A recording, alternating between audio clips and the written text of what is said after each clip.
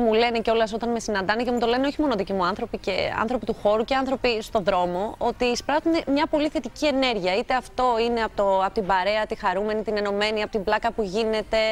Α, ότι εισπράττουν, δηλαδή ότι ξυπνάνε το πρωί και ότι η επιλογή τους στον Α και στο Happy Day είναι μια καλή επιλογή για να ξεκινήσουν τη μέρα τους με χαμόγελο. Σου δίνανε την ευκαιρία να επιλέξεις μία άλλη ζώνη, ένα άλλο πρόγραμμα για να κάνεις. Ποιο θα ήταν αυτό, το έχεις σκεφτεί ποτέ; Ναι, να σου πω την αλήθεια, είμαι τόσο χαρούμενη αυτή τη στιγμή που θα ήθελα να εξαντλήσω το Happy Day, δηλαδή όσο υπάρχει και. Σύμφωνη. Ναι. Α πούμε ότι πέρασαν 10 χρόνια. Ναι. Δεν θέλεις να κάνεις κάτι άλλο και έχεις και το περιθώριο να το επιλέξεις. Να πεις: Εγώ δεν θέλω να κάνω αυτό, αυτό θέλω να κάνω.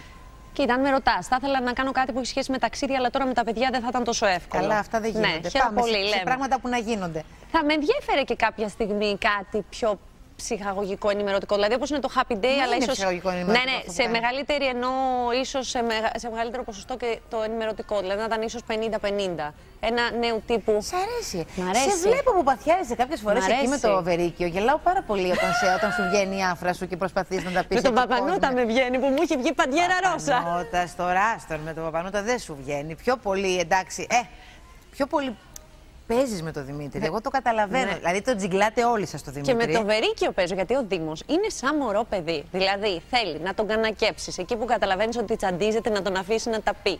Εκεί που κάτι έχει καλό, να του πεις να το υπερτονίσεις. Μπράβο, Δήμο μου. Να του κάνεις λίγο τα τσαλιμάκια. Είναι σαν μωρό παιδί. Εγώ του το λέω πολλές φορές. Και και τον αγαπώ και πάρα πολύ, γιατί είναι ένας άνθρωπος που θα μπορούσε να μην υπάρχει σε αυτό το project. Έτσι, είπε ναι, χωρίς να ξέρει ότι αυτό θα πάει καλά. Δεν είναι ότι πήγε το Happy Day καλά Βέβαια, και ήρθε. Το στήριξε. Ακριβώς, ευθύς εξ αρχής. Αλλά μου αρέσει αυτό το κομμάτι και νιώθω ότι όλοι πρέπει να έχουμε άποψη. Κάποιοι ίσως φοβούνται να την εκφράσουν. Δεν φοβάσαι, επειδή ε, με το θέμα της ενημέρωσης ασχολείσαι τώρα, μέσα ναι, από την εκπομπή, έτσι. Ναι. Δεν έχεις ασχοληθεί ποτέ. Όχι. Είχα, εντάξει, είχα κάνει δελτίο ειδήσεων στην αρχή, ε, αλλά όχι. Δεν είναι το ίδιο. Ναι, ναι, ναι. Νομίζω πιο πολύ τώρα ναι, ναι, ναι, ψάχνεσαι από ότι. Ψάχνουμε, διαβάζω, συζητάω Αυτό με το Θέμη πολλές φορές. φορά, μήπως η, η γνώμη σου σε κάποια θέματα ε, ναι, καμιά φορά επηρεάσει κάποιους ανθρώπους σε λάθος μονοπάτια. Εντάξει, το φοβάμαι. Κοίτα, γενικώς πάντα εκφράζω την άποψή μου με επιχειρήματα. Οπότε είτε συμφωνείς μαζί μου είτε διαφωνείς.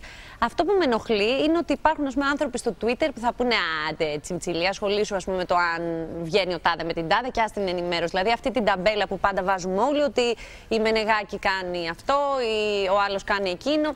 Ξέρεις, αυτό είναι που με ενοχλεί. Ότι εγώ δεν προσπαθώ ούτε να το παίξω σοβαρή δημοσιογράφος, ούτε άνθρωπος ενημέρωσης, ούτε με τις φοβερές πολιτικές πεπιθήσεις και απόψεις. Αλλά θέλω να είμαι ένας άνθρωπος του σήμερα που ξέρει τι γίνεται στη χώρα του και έχει άποψη. Πώς τα βλέπεις τα πράγματα στη χώρα μας, Ρε Σταματίνα; Μια, κάθε μέρα έχεις κουβέντα.